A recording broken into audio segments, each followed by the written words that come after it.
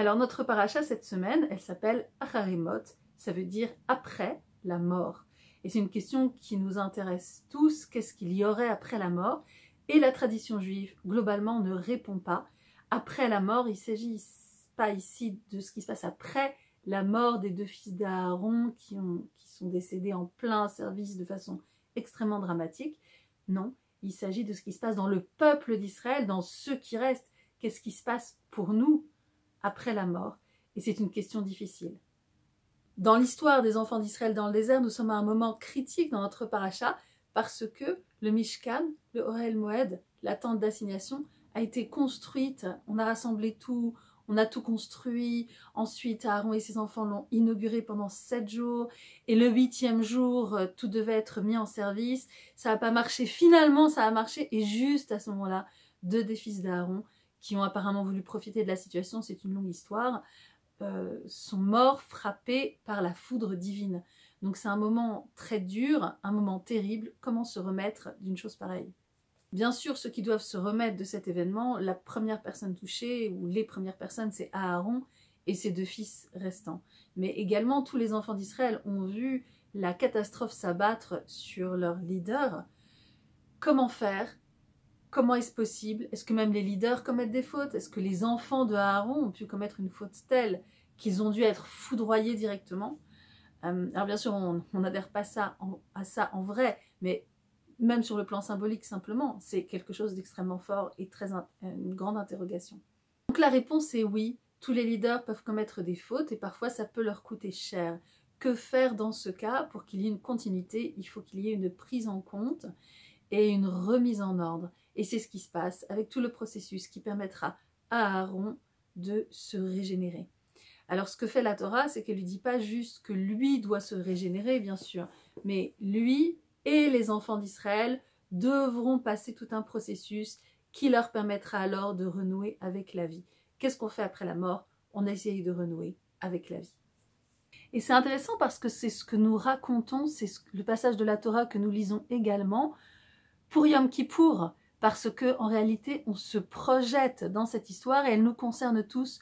Nous nous retrouvons tous parfois dans des situations de déséquilibre où en tant que leader, on a commis une faute et qu'est-ce qu'on peut faire?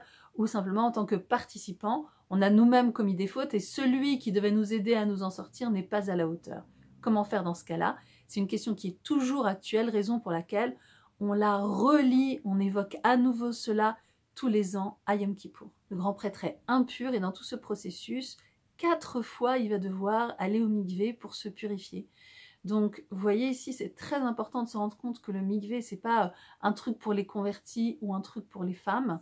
Le migvé, c'est quelque chose d'important pour tous ceux qui doivent passer des étapes, y compris le grand prêtre, qui, dans les différentes étapes du processus de réhabilitation, doit s'immerger dans un migvé.